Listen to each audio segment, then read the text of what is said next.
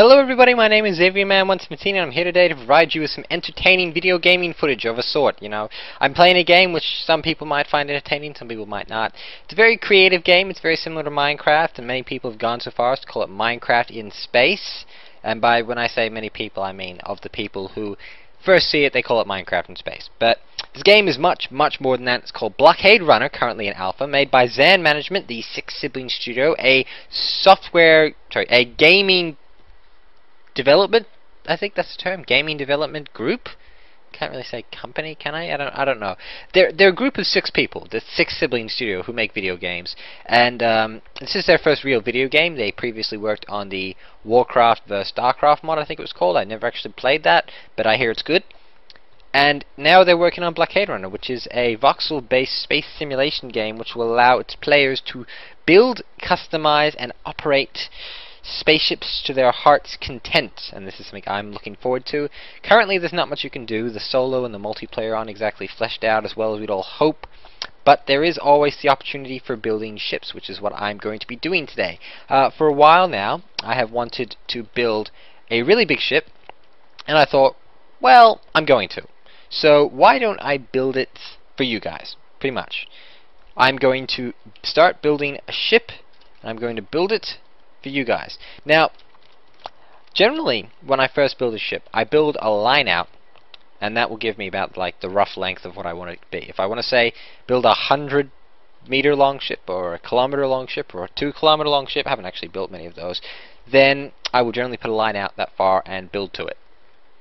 But today I'm just going to work on little bit by little bit and I want to start off with the engines as I always do. I always like to get the propulsion going so that I know, you know, just the engines are one of the most important parts. I like to get all the basic structure that you require for a ship to operate going before you actually start building the ship itself. Because otherwise you're just going to try and fit all this stuff inside what you already have and it's just going to look terrible. So you build all the structure you need and then you build the uh, pretty stuff. So just before I was actually trying to film this, but then apparently the game doesn't like it when I place uh, big engines, which is like not just me saying engines that are big. No, I mean like it's an actual prefab, and it's crashed my game. It crashed the game, and I do actually have the footage from that, but there's really no point showing you that because, well, it didn't get anything done. This is the design I I thought about when I was doing that. What's that? One, two, three, four, five. Yep. Uh, make this a little thicker just because I can. Bring this down four. One, two, three, three, um, and four. So now that should be 10, and it's a giant H shape, or an I shape, depending on which way you look at it. It's it's entirely up to you how you look at it. No, no, no. I wanted it to go that way, yes. The uh, rotating is not particularly good, and the grid is annoying me, so I'm going to turn it off. I can find it. There it goes. Turn off the grid. Voila. Now, I'm feeling a little paranoid, so I'm going to, first of all, save the ship as, I don't know, I'm going to call it the Super Mega, that's not how you spell Mega, Mega awesome ship of destiny and coolness. There we go. Super mega awesome ship of destiny and coolness. Beat that name. Seriously, beat it. Alright, now I'm a little paranoid, so I'm going to see if I can place a big engine without it crashing, and if it crashes, then I'm going to have to avoid using big engines, but I really want to use them because they look pretty awesome. Alright, I'm going in. I'm ready. And if it crashes, well then, I'm prepared. No, no, it didn't crash. Maybe it was... I don't know. I was ghosting before, so maybe if I ghost now... No, it can place it. I don't know why it crashed my game before. Well, that's, um, that's good news, I suppose. It just means that in future, I can try and place these, and if they, uh, crash my game again, well then, what can I do? But I will continue on the thruster pods thingies. And I think that this episode will only go for about eh, 10-20 minutes. Maybe 10-15 actually. Because, you know, there's really only so much you can get up to. And I want to do this in parts and make it a series because, well, I can, essentially. Uh, if you came here looking for humor, uh, I'm sorry, I really am, but focusing, I've got my tongue out, got my focusing look on. Uh, I can be funny. I can be very, very funny. But often, my humor is based on the circumstances I'm in. Now, in layman's terms, that means I'm funny in certain situations. So if you've seen my warband videos, you notice that those give me a lot of opportunities to be funny, or sometimes none at all, depending on the actual video and what's going on. And this is just me building, so if you're into seeing big builds of that sort, then what does that look like? That kind of I thought it looked like a pair of hands for a second there. I don't know why, but I did. Uh, as I was saying, this is just building. If you came here looking for building, you're in the right place. If you're looking for an awesome new space game that you might want to try out, because there aren't a lot out there, then you also come to the right place, which is pretty good. Now I have a big box and want to fill it up. I, I really want to fill it up. Question is, uh, I'm going to have big engines. Should I bring it back? Should I extend it out to about, oh, I don't know, here or something? Should I do that? Maybe a little longer so it fits in well with the proportions. Should I have engines inside it? Should I have... I don't know what I should have inside it. I have a lot of stuff and I don't know how much machinery I can fit in there. I mean, I can fit a lot in there, but how much is actually necessary, you know? You don't really put more in than you have to. Uh, I have a feeling that it would be pretty awesome if I brought it out here, so I'm going to do that. Oh, I love the autosave feature. Before they actually um, implemented the autosave feature here in Blockade Runner, there would be awkward moments where the game might crash, and it was a development build, and we'd lose all the hard work we did, and that's just not pleasant. I've been playing Blockade Runner for a while, actually. I discovered it when I googled, rather to my shame at the moment, uh, Minecraft in space, because I was looking for all sorts of Minecraft mods, and I figured, well, you know, uh, I like space, uh, I thought maybe I could build like an adventure map or something, and uh, I wanted some sort of space mod because I thought it would be cool. And I, I went and googled it, and I found this. Actually, I found a, uh, I can't remember what it was. It was one of those gaming sites, one of those gaming magazine sites, like, uh, I don't even know if magazine is the right term, but I found something saying that Blockade Runner, not just Minecraft in space, and I thought, let me look at this. So I followed the link, and I found it, and I bought it pretty much. it was pretty cool, actually. Rightio. I think this bit... Yeah, we can't just have it, like, go flush with that. It has to come out here a little bit more. I've, I've no idea what I'm doing. I'm making this up as I'm going along. I literally have no idea what I'm doing. And I can alter the design uh, later. I have what is essentially giant space penis going on here. What a weirdo I am. Now, I was thinking, this bit here, that fills up. Right? Fill that up. Uh, I was also thinking before, when I was just trying this, before my game crashed, when I tried a big engine, doing exactly this, save, save just in case, uh, save so my super mega awesome ship of destiny and greatness is not destroyed, and, oof, it's very difficult to, oh, that actually fits rather well, doesn't it? Um, you know, maybe, just maybe, this, that actually fits in perfectly. Well, not perfectly, because it's not snug, but it's got like um, one space going on. This means I can put like a wall here, have the engine here, and then have all sorts of things ready to run the engine behind it. But will one of these engines be enough to propel the ship? I don't know. Might have to build additional engine pods, but now that I know that works, I think it might be a good idea to have a doorway going into there. I'll just map out the rough idea of where I want the doorway to go. If I have the doorway... No, I don't like it having right next to the wall, because the wall's going to be there. Uh, there, that works. And I think I will have... Um, catwalk or something uh, coming down, going down here, and then all sorts of computers and bits and bobs and gadgets and shit going on here. I, I don't know, I'm, I'm figuring it out. Oh, has it been 10 minutes already? Would you look at that? Started at 3.33, it's now 3.43. Well, there you go. Thank God my microphone isn't muted, that would be awkward. Okay, okay, so I shall put the wall there. I've got a sizable amount of room for stuff and lots of lots of stuff. Uh, I've got a lot of headroom here. I can't just use the floor because then I'll have a lot of room up here. I'm thinking maybe I can use some energy cells, some fuel cells. I don't know. I'll figure it out as I go. Now I want to put the engine in here because I'm uber paranoid about these things. I think I'm just going to save before I put the engine in there. Ugh, these placing these is just black magic, I swear. Okay, there we go. I've locked the direction.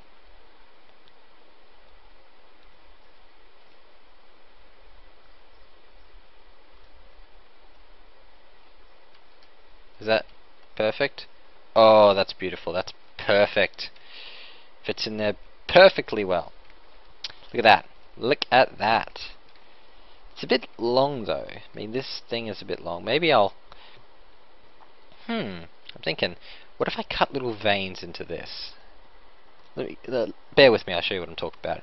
If I cut two in from there... Oh, no, no, I I want to use the frame. I said the frame. Oh, that's a um. That's a bug when you use the V key to uh.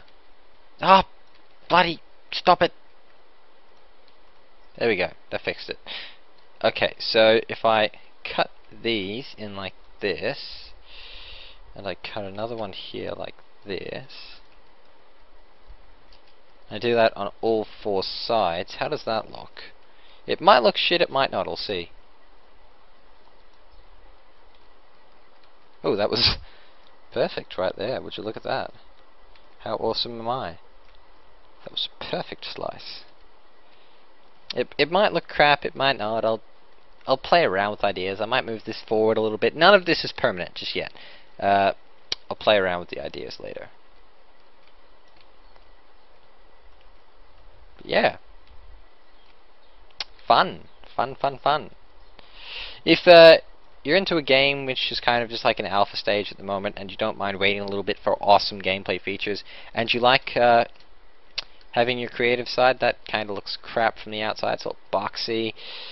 Ooh, I think I might move the engine forward a little bit. I, I don't know I'll yeah, let's move the engine forward a little bit. But as I was saying, if you're into a game that lets you apply your creative talents and build ships that are going to become fully functional and awesome and have awesome space battles one day, then this game is certainly for you. Uh, I can't really get people into it because I've tried to get people into this, and not everyone is as patient as I am, and I'm not particularly patient myself. And not everyone I know is into space games as much as I am. And if they are, they want them to look really awesome and to be just freaking, just, you know, the bee's knees, the, sh the shiznit. Okay. Radio, so awkward moment, it crashed my game, and it kind of crashed the ship, but fortunately, since I saved it, I still have it here. I'm just gonna load it. Where is it? It's down here somewhere. Super Mega Awesome Ship of Destiny and Coolness by Xavier Man 117. Yes, just remove my little block, my 2x2x2 block. I don't want that. Hit OK. Yes, voila. Loaded Super Mega Awesome Ship of Destiny and Coolness. Is it crappy little veins? Alright, apparently it didn't save all of my progress. Oh well. That's fine. Yes, I wanted to override this ship. Okay, so I'll just fill these in like I was before.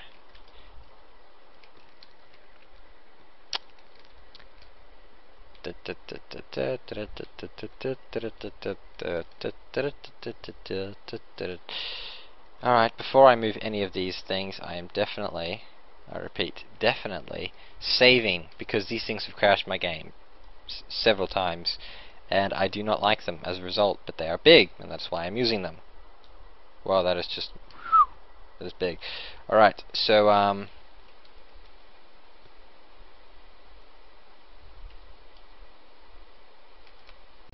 Right, so it crashed my game again, which means I am definitely not using those engines again. Ever. Never, ever, ever. Actually, when I get an update, I will probably, probably, possibly, maybe, I don't know, use them. That is not my ship. I've accidentally loaded the wrong ship, though it looks pretty awesome. Look at that. That's a pretty awesome looking ship. I have no idea whose ship this is, though it's pretty wicked. This looks kind of like a bug. Anyway, what am I doing? Um, yeah, there you go. Super Mega Awesome Ship of Destiny and Coolness. Load. Um, oh, there it is. That was awkward. I thought I'd lost it. So you're probably asking, Simon, how do you lose a ship in the middle of space? I just did. But then I found it. So it's all good. It was lost and then it was found. Right. So, engine, I hate you. You can die. Which means I now have a lot of space left over in these pods for engines, and I don't know what I'm going to stick there.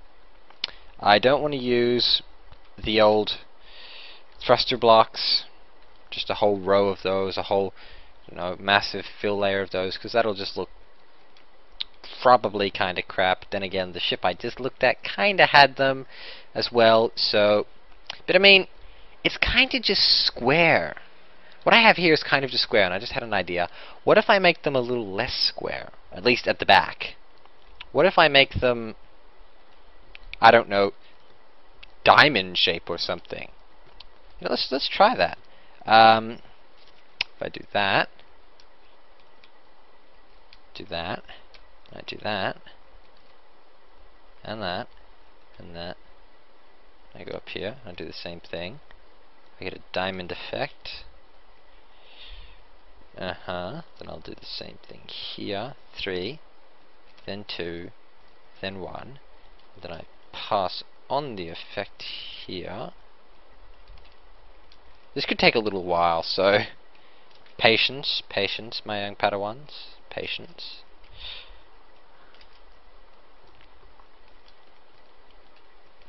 Oh, this looks so much better already. This looks looks pretty good.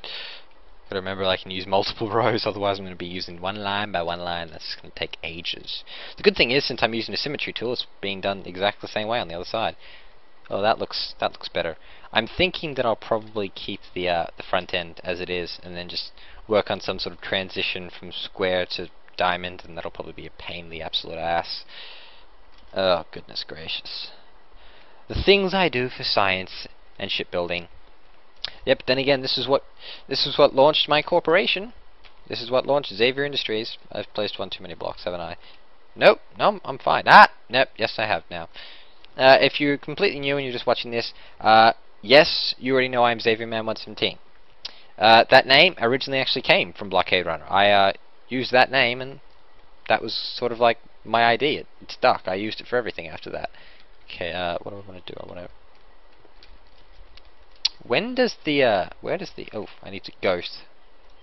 Okay, so where does the thingy come out? A little mark. There we go. So that will be the mark of where I need to stop. Let's make it more noticeable.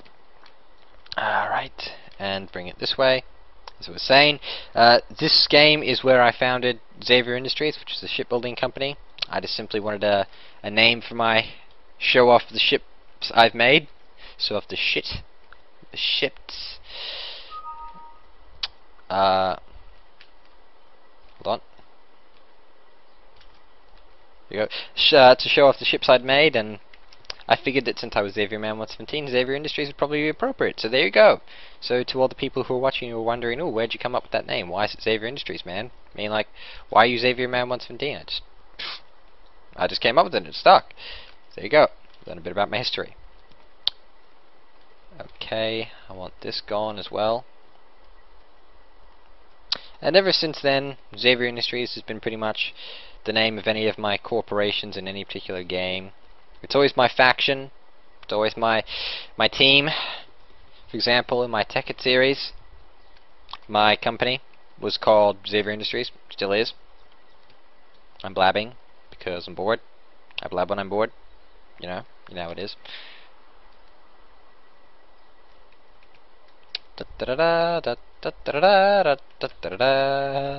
It's been about 20 minutes according to my clock, so doesn't actually look that bad, I'll be honest. It looks You know what? I actually think that it looks pretty good if I just leave the top half there. You know, it doesn't look all that bad. I think that that is probably a good place to leave it, and it might not even be a battleship. Now I'm getting the sort of a... Oh, wait, no, that's got to stay there.